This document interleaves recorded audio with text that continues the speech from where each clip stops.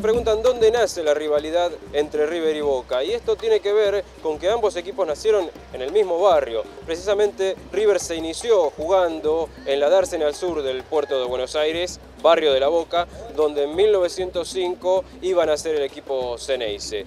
El destino quiso que River deambule por varios lugares. Primero pasó por Sarandí, luego se fue a Caballito, volvió al barrio de La Boca, se fue hasta Palermo para asentarse definitivamente en Núñez. Sin embargo, Boca permaneció en el barrio hasta el día de hoy. Desde ese entonces, ambos conjuntos han disputado infinidad de encuentros memorables. Esto convierte al River Boca, al Boca River, en uno de los clásicos más importantes del mundo, a tal punto que medios ingleses lo han catalogado como uno de los 10 acontecimientos que nadie debiera dejar de ver antes de morir. Hasta ese punto llega la pasión de un River Boca, hasta que los medios extranjeros lo tomen como propio y le den coberturas internacionales como en ningún otro lado puede observarse.